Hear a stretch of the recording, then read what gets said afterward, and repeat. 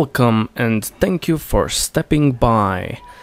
This is a video full of uh, fishing and solving the jigsaw puzzle. And this is a super cool event. And the way it works is you have to fish, and when you catch something, you also get five jigsaw chests. With that you can you get as you can see in the window with fishing jigsaw you get pieces of puzzle and you have to do it in as less moves as possible least moves as possible and uh, you will get uh, reward um, another chest box and with that you open it and get cool item shops.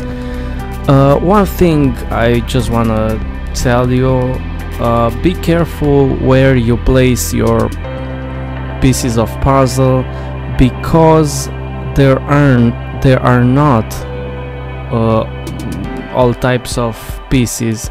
Uh, it's limited it's very limited only a few pieces so you have to be very careful.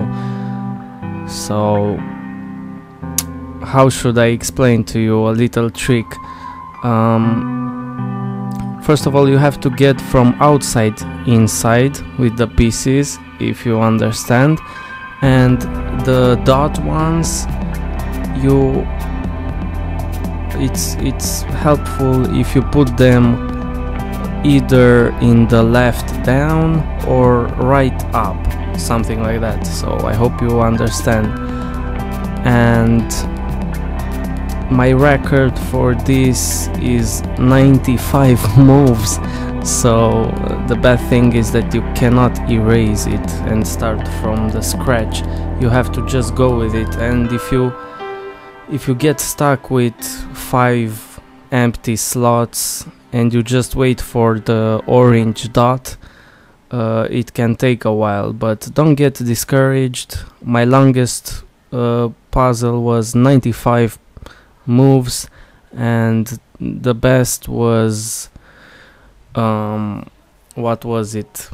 I think 7 or 8 so if you get under 10 you get a large chest which you can open three times and from 11 to 25 I believe uh, medium. And over that 25 or 35 I'm not sure.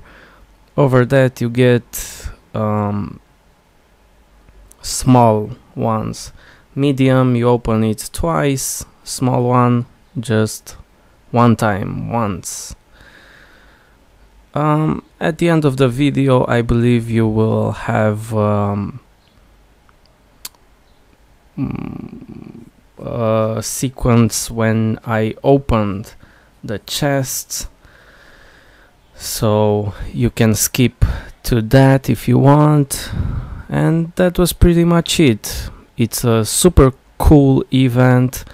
Uh, you should participate if you have time and patience and stuff and you can get a lot of good items from item shop some items that people pay a lot of real money for so you can hack the system be smart and go out there and catch some fish god damn it Thanks for watching, subscribe, like, share, comment and share the video with a friend. That's it for me. I will see you next time. Goodbye. Ta-ta!